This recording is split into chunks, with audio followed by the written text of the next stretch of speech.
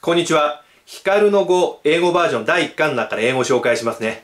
えっ、ー、と、82ページです。You wouldn't believe how boring and lame it is. これがまたかったるくて全然面白くねえの。つまんねえぞってヒカルが言ってます。このレイムっていうのは、えっ、ー、と、俗語で時代遅れのものとか人っていう意味があります。